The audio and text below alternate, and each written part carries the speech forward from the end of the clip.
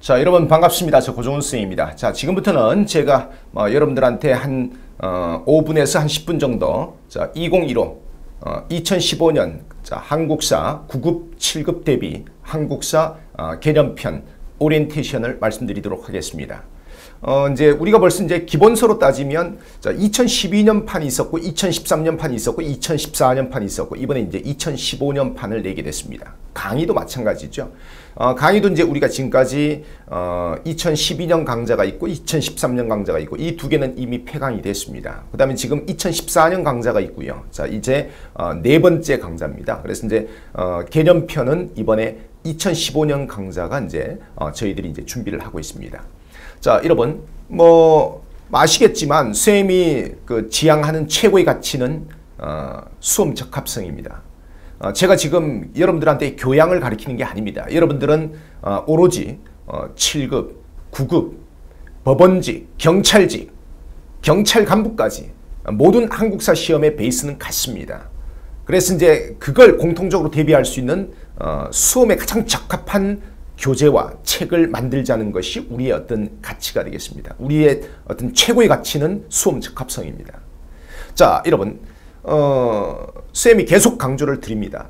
이거 제가 어느 날 갑자기 이런 얘기 한 게 아니라 공무원 시장에서 제가 한국사를 강의하면서 2013년, 아니 2012년 2월 달부터 제가 일관되게 지난 2년 반, 3년 가까이 여러분들한테 계속 지금 하고 있는 이야기입니다. 두꺼운 수험서를 버려야 빨리 합격한다. 자, 여러분 100강, 120강 되는 그런 긴 강의를 들어서는 절대 자, 합격하기 어렵다. 자, 여러분 긴 강의는 공무원 장기 학생, 소위 공장기의 지름길이다. 라고 제가 계속 여러분들한테 말씀을 드렸습니다. 왜 그렇습니까? 자, 여러분 한국사에 7급이든 9급이든 경찰이든 한국사의 고득점 지름길은 95점 만점. 뭐 솔직히 90점 받아도 합격을 하는 데는 큰 지장이 없잖아요. 현실에 솔직히 공무원 수험생들의 거의 90%는 허수잖아요. 진퉁은 10%밖에 안 되잖아요. 그래서 의외로 뭡니까? 뭐 한국사 같은 건 만점 받아야 된다고 하지만 저희 합격 후기를 보십시오. 85점, 90점, 95점 받고도 합격한 사례가 억수로 많습니다. 실제로 제가 봤을 때는 9급은 문제가 최근 한 2, 3년 사이 일정하게 나오기 때문에 대충 85점, 90점 맞아도 합격하는데 큰 지장이 없거든요. 자, 여러분. 한국사 고득점. 제가 여기서 말하는 고득점이라고 하는 것은 95점이나 만점을 말하는 것입니다. 한국사 고득점의 길은 의외로 아주 명쾌하고 단순합니다. 핵심은 자, 여러분 뭡니까? 다회독, 반복입니다. 그 다음에 그리고 기출 문제를 자주 반복해서 분석하고 풀어보는 겁니다. 이 두 가지 이외에 놀랍고 신비한 방법은 없습니다. 자, 여러분. 그런데 두꺼운 수험서, 노량진에 지금 시중에 있는 수험서 대충 유명한 수험서 평균 몇 페이지입니까? 1200페이지, 1500페이지, 1800페이지 됩니다. 이거 과연 꼼꼼하게 처음부터 끝까지 완독할 수 있을까요? 전 쉽지 않다고 봐요. 자, 이 긴, 그 다음에 노량진의 대부분의 강의. 자, 여러분 거의 110강, 120강이 기본이죠. 심지어 180강짜리도 있습니다. 이거 과연 완독할 수, 그러니까 완강할 수 있을까요? 완강을 해도, 자, 여러분, 한국사라고 하는 과목은 행정법, 행정학이나 이런 과목하고 똑같은 거 아닙니까? 반복해서 귀에 딱지가 앉을 때까지 들어야 되는데, 솔직히 120강 이렇게 넘는 강의 두 번, 세 번 들어야 귀에 딱지가 앉는데 과연 귀에 딱지가 앉을 때까지 두 번, 세 번, 네 번 들을 수 있겠습니까? 그러면 다른 과목은 공부 안 합니까? 그러면 두꺼운 수험서나 긴 강의로 공부하시는 분들은 솔직히 구급 돼도 2년, 3년, 4년씩 공부한다는 거죠. 우리는 그런 노선이 아닙니다. 자, 솔직히 대다수의 공무원 수험생들은 솔직히 그 두꺼운 수험서를 완독하지도 못하고 그 긴 강의를 완강하지도 못하는 게 현실입니다.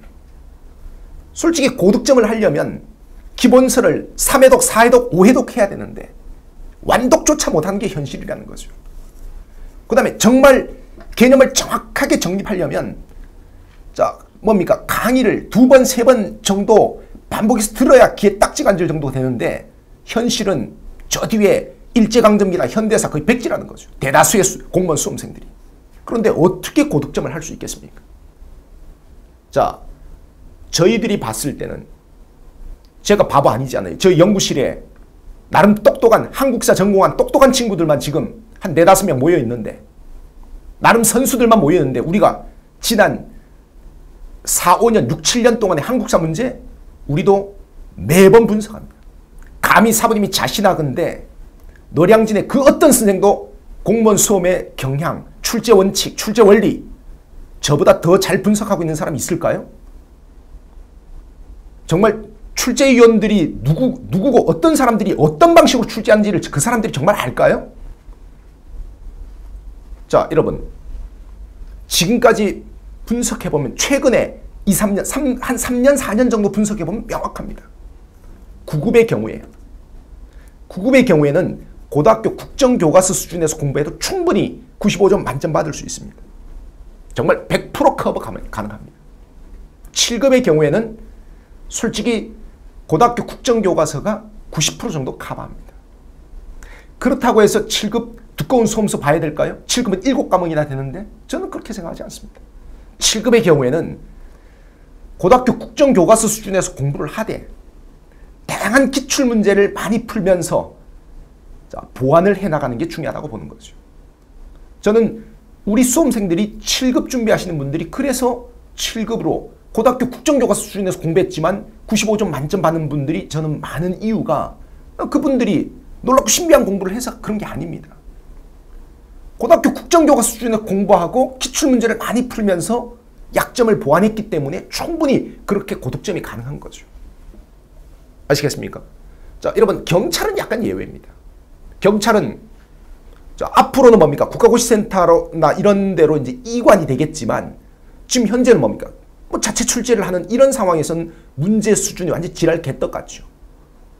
자, 이런 거는 뭡니까? 솔직히 좀 약간 애매합니다. 근데 이제 경찰직도 결론은 뭡니까? 고등학교 국정교과서 수준을 벗어나는 문제는 거의 없어요. 문제 형태가 지랄 맞은 거지 내용 자체가 고등학교 국정교과서를 벗어나는 건 아니거든요. 알겠습니까? 자, 여러분 우리는 우리의 노선은 자, 고등학교 국정교과서 수준에서 충실한 기본서를 만들자. 자, 그 다음에 60강 정도의 컴팩트한 강의를 자, 이걸 통해서 뭡니까?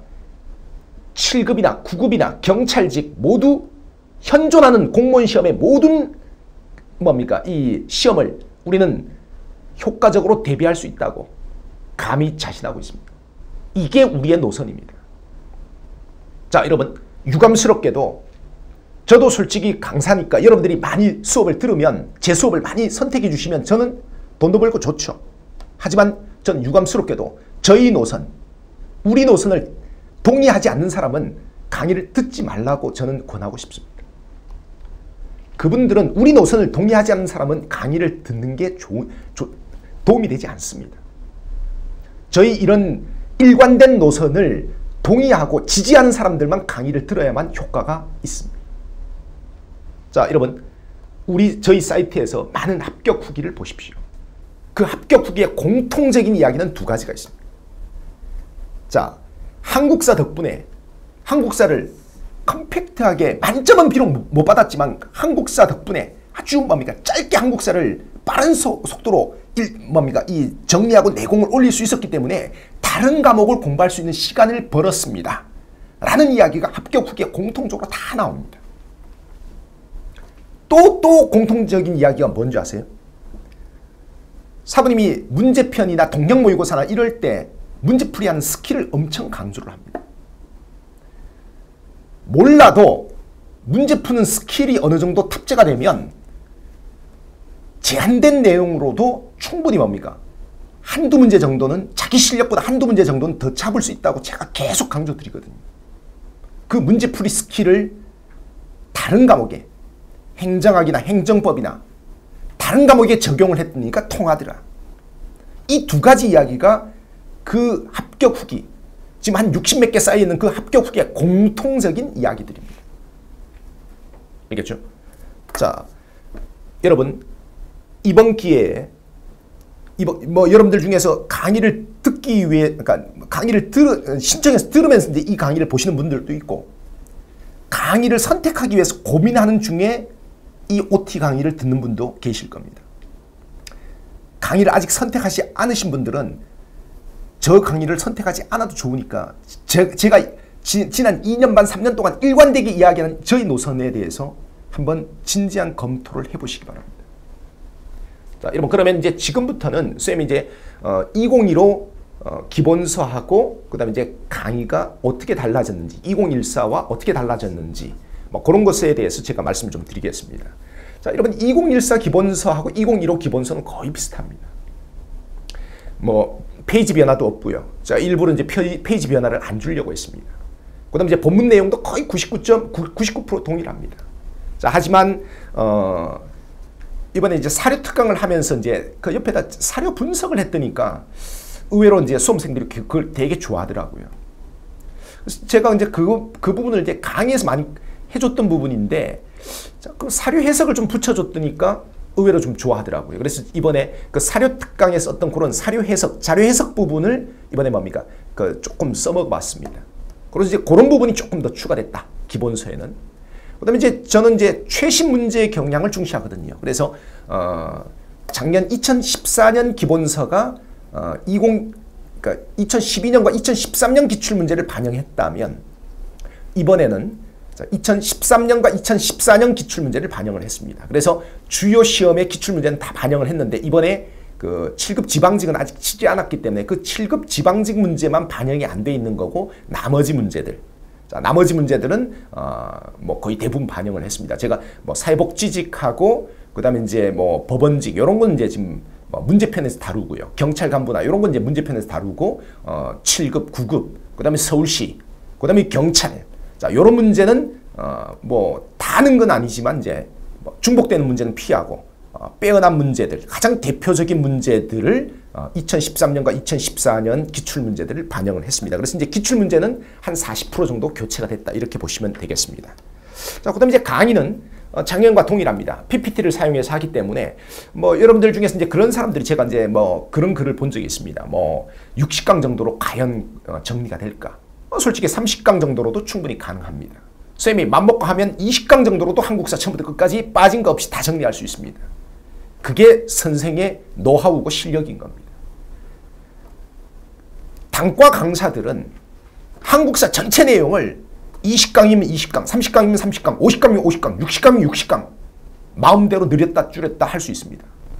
그런데 제가 봤을 때 자, 시작한 지 얼마 안 되는 내공이 부족한 사람들까지 감안을 했을 때 60강 정도면 가장 적절하다라고 보는 거죠.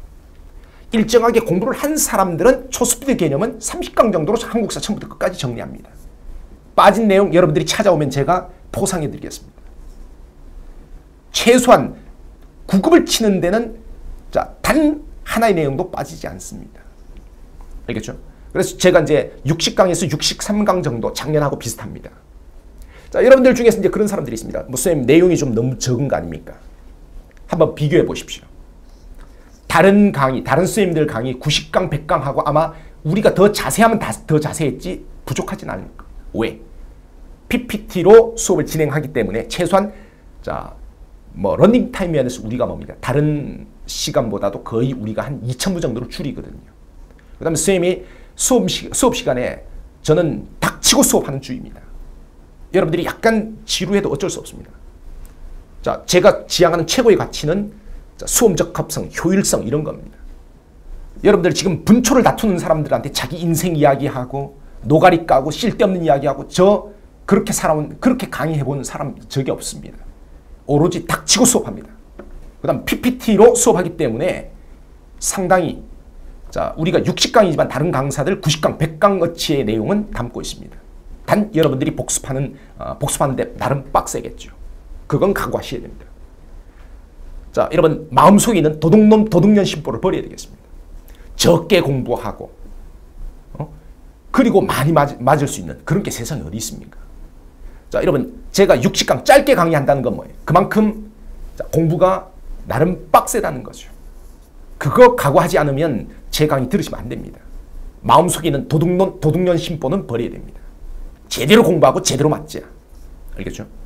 자, 그 다음에 여러분, 제가, 어, 그 세 번째 이제 마, 말씀드릴 것은 이제 향후, 뭐, 지금 이제 이게, 어, 지금 이제 시즌이 바뀌는, 저는 이제 시즌을 보통 9월 초에 시작합니다. 앞으로는. 어, 그래서 이제 9월 초에 시즌을 시작해서 이제 5월 말 6월 초에 시즌이 마감됩니다. 전 7, 8월 강의는 어, 하지 않습니다. 그러면 이제 향후 뭐 제가 뭐 여러분들 중에서 그런 사람들이 있습니다. 뭐, 뭐 쌤, 뭐 한국사 필수가 되면 수능으로 돌아가지 않을까요? No. 저는 공무원 강의 제가 평정할 때까지 계속 전진합니다. 노량진에서 긴 강의 퇴출될 때까지 두꺼운 수험서 퇴출될 때까지 저는 계속 굳세게 전진합니다. 아마 두고 보십시오. 자, 향후 계획에 대해서 말씀드리겠습니다. 자, 여러분 강의는 4단계입니다. 2단계는 문제편. 자, 문제편은 11월 달에 개강합니다. 자, 그래서 어, 작년하고 비슷하게 40강 정도로 진행됩니다. 자, 앞에 핵심 정리하고 그 다음에 문제 풀고 자, 그 다음 이제 문제는 200문제 정도는 대표 기출 문제 지난 한 3년 동안의 대표 기출 문제 자, 그 다음에 자, 나머지 800문제는 기출 변형 문제입니다. 알겠죠? 자, 기출 변형 문제 수준 좀 있습니다. 좀 빡셉니다. 알겠죠? 자, 그래서 이제 뭐 내공 부족하신 분들은 천재 함부로 덤비면 안 됩니다. 공부해갖고 오셔야 됩니다. 알겠죠? 자, 그 다음에 이제 그리고 1월달, 2월달에는 이 개념편을 절반으로 압축한 초스피드 개념이 되겠습니다. 자, 여러분 초스피드 개념 이번에는 교재 전면적으로 바꿀 겁니다. 뭐 얼마나 많이 바뀔지는 아직 뭐 구상 단계이기 때문에 뭐 섣불리 제가 말씀드릴 수는 없지만 어, 대충 어, 뭡니까 이게 어, 좀더 이렇게 좀 세련되게 좀 바꿔볼 생각입니다. 자, 그 다음 이제 그리고 3, 4월과 5, 6월에는 동경 모의고사 합니다. 그래서 이제 동경 모의고사 한 20회 했으니까 적당하더라고요. 그래서 4지선다형 12회, 5지선다형 8회 이런 식으로 갈 겁니다.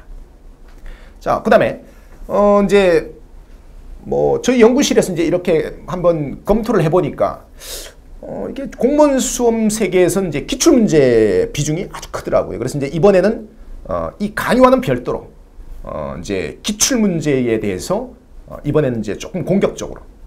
그래서 이제 어, 원래 이제 방문각에서 그 작년에 이제 최근 4개년 동안의 기출문제 600제를 만들었는데 시행처별 기출문제 600제를 만들었었는데 자 이번에는 뭡니까? 5년 동안. 그래서 이제 2014년에 기출된 문제를 거기다 탑재를 했더니까 한 900문제 정도 나와요. 그래서 이제 시행처별 한 900제 정도로 어, 시, 어 9월 중에 9월 아, 중에 출간을 하고 있, 할 예정입니다. 그 다음에 이거와는 별도로 또 단원별 기출문제에 대한 수요가 또, 또 상당히 있는 것 같더라고요. 그러니까 다 해야 되는 거 아니고 자, 뭐 선택하시면 됩니다. 그래서 이제 이번에는 단원별 기출문제 최근 4년 동안 단원별 기출문제를 어, 한 800제 정도 될 것 같아요. 그래서 이제 이걸 어, 10월 중에 또 출간을 할 겁니다. 그래서 어, 기출문제는 이번에는 어, 두 가지로 갑니다. 하나는 어, 시행처별 900제 자, 또 하나는 뭡니까? 단원별 기출 문제 800제 뭐 이런 식으로 갈 계획입니다. 자, 여러분 어, 뭐 사부님이 감히 자신합니다. 콘텐츠의 양과 질 면에서 자, 고종훈 연구실은 어, 현존하는 대한민국 최고입니다. 멤버 한 사람 한 사람 자, 수능에서 뭡니까? 지금까지 십몇 년 동안 같이 일하던 그 멤버들입니다. 자, 콘텐츠의 양과 질. 자, 여러분 공무원 수험 세계에 있는 상당수 강사들 혼자 교재 만들고 조교 하나 데리고 뭐 이렇게 수작업하고 우리 그런 사람들은 아닙니다. 자, 수능, 한능검, 공무원. 자, 콘텐츠의 양과 질면에서 감히 저희 연구실이 저는 어, 최고라고 자부하고 있습니다. 사부님 믿고 어, 달리신다면 여러분들이 한국사만큼은 자, 뭡니까? 물론 한국사 다른 강사 들어도 충분히 만점 받거나 고득점 할 수 있습니다. 하지만 저는 그 시간을 줄여드릴 겁니다. 가장 효과적인 방법으로 한국사 고득점을 받을 수 있도록 여러분들을 안내해 드리겠습니다. 자, 믿고, 어, 사부님 믿고, 어, 열, 열공, 탁공하신다면 아마 모르긴 몰라도 몇 달 안에 한국사 내공이 급상승된 것을 여러분들이 확인할 수 있을 겁니다. 자, 여러분 강의에서 뵙도록 하겠습니다. 고맙습니다.